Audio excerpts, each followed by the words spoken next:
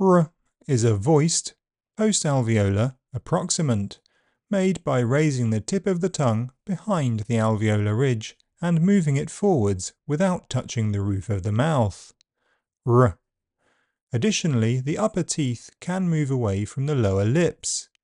R. Air is allowed to escape throughout the sound. It is vowel-like. R.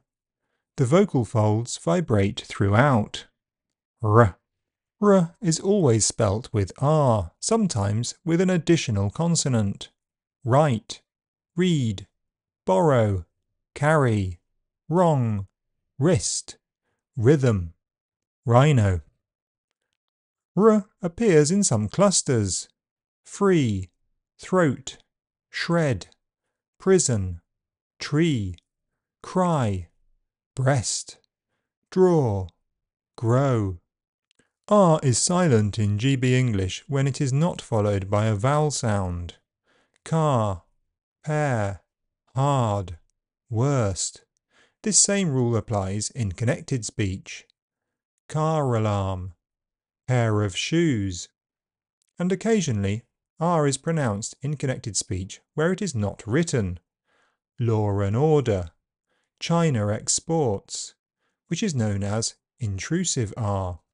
The symbol used for r in phonemic dictionaries for English is actually a trill r in the phonetic alphabet. The symbol for an alveolar approximant is r, so you will see this in phonetic transcriptions of the sound. R is devoiced after voiceless consonants.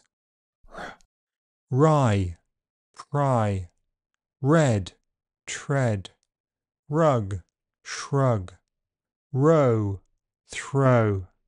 After d, r is a voiced fricative, r.